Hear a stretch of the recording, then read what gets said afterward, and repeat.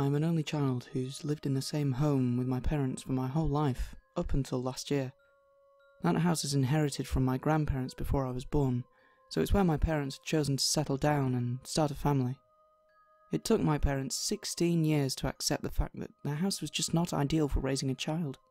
I wish that they had come to terms with this fact sooner, but I was thrilled when they announced last year that we'd be moving into a larger, newer home.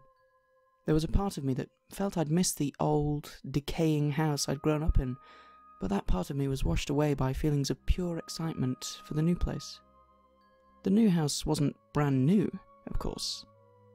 I was told that it was actually built around 80 years ago, just updated with brand new. mm, well, everything. My excitement never wavered as we spent the next few weeks getting everything moved out of the old house and into the new one. I spent the following weeks in the background of my parents' lives while they tried to get everything sorted and moving. I'm not sure I'd ever seen them that stressed before, so I decided it would be best to let them settle in before voicing any complaints I might have had. That's why I didn't say anything on the first night when I kept hearing noises from my closet. It was the distinct sound of something moving around from behind the closed closet door. My bedroom, at this point, was just unpacked boxes and loose snacks I'd brought out to get through the night. My first thought was that there may be a rat problem, and I'd bring it to my parents once things were a little less hectic. It was roughly a week before I'd heard anything else. My parents were still in high stress mode, but things were beginning to settle down. I had slept peacefully through each night and had yet to raise any concerns with the new house to my parents. This night, however, was different. I heard noises coming from behind my closet door again, but this time louder. I identified the sound as movement once again, but it was far too clunky to be any rat. Perhaps I'd been reading too many scary stories on the internet this night, but my fears got the best of me and I quickly slipped out of my room to go find my dad. He was still awake, but looking exhausted. I felt bad for bothering him, so I explained what I heard and asked if he would just do a quick check in the closet for rats, or anything else. He followed me back to my room and I stood behind him while I watched him open the closet door and look around. He moved my hanging clothes around and even pulled out a flashlight to check in the corners. When he was finished, he pulled the door all the way open and motioned at the closet. I didn't see anything, but I'll stand by if you want to look for yourself. I nodded and took the flashlight into the closet to have a look myself. Sure enough, there was nothing out of the ordinary. I shrugged at my dad and apologized for bothering him. That's okay. He told me. It's probably just some old pipes. This place is an improvement, but it's not perfect. He put a comforting hand on the top of my head. I'm going back to bed, but you wake me up if you need anything else, okay? I gave him an assuring nod and crawled back into my bed as he left the room, flicking the light off behind him. I slept through that night without any other issues. There were nights after that one where I heard noises in the closet, but I quickly made a habit of sleeping with headphones in to draw them out. I mentioned it to my dad a few more times, citing his theory about the pipes, but it was usually brushed off in lieu of more pressing issues with the move. Things really kicked off about three months later. I remember that I was having trouble sleeping that night, despite feeling exhausted. I had my headphones in, and I was laying on my side, staring into the darkness. It was dark enough that my tired brain could hardly discern whether my eyes were open or closed. My vision made swirls in the darkness that I tried to follow with my eyes, but they would quickly disappear. After some time, my eyes had adjusted to the darkness, and I could make out shapes in the room. My focus danced around the room, past the outlines of my bookshelves and my dresser, stopping at my closet door. There was something that stood out about the outline of my closet, but I couldn't pinpoint it right away. Then I realized. It looked like the door was open just slightly.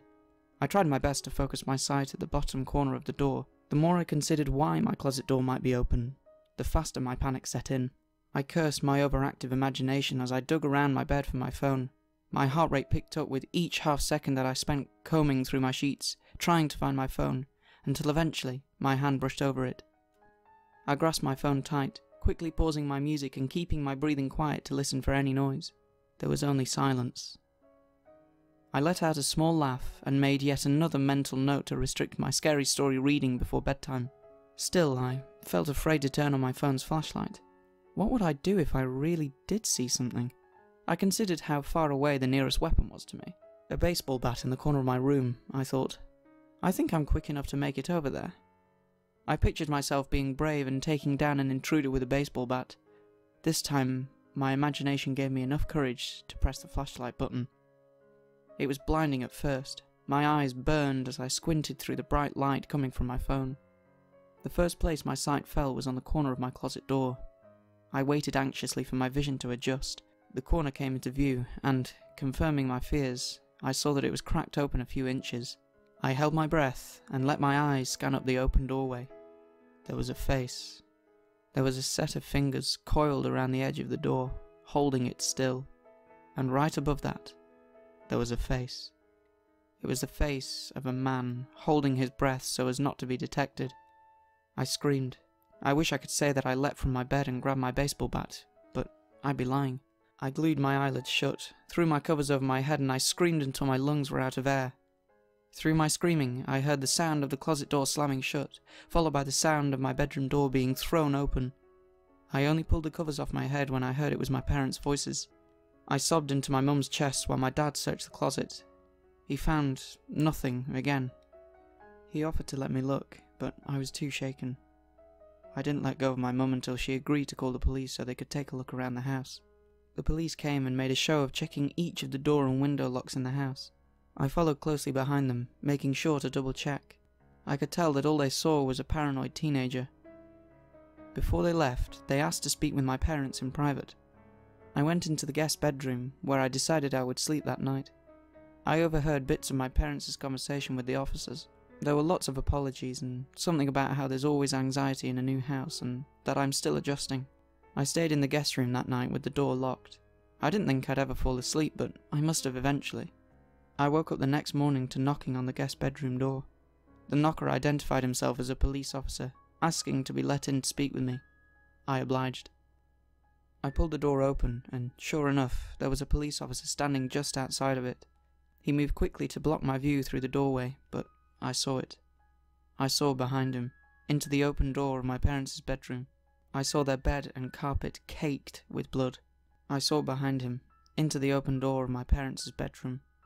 I saw their bed and carpet caked with blood. I saw the other officers and the paramedics making haste around the house. My ears were ringing as the officer swiftly entered the room and shut the door behind him. My gut was heavy as he told me what happened. My head was light as he explained that my parents were murdered in the night by someone who came from within the house. The ringing in my ears didn't stop as the officer led me into my bedroom to get my things.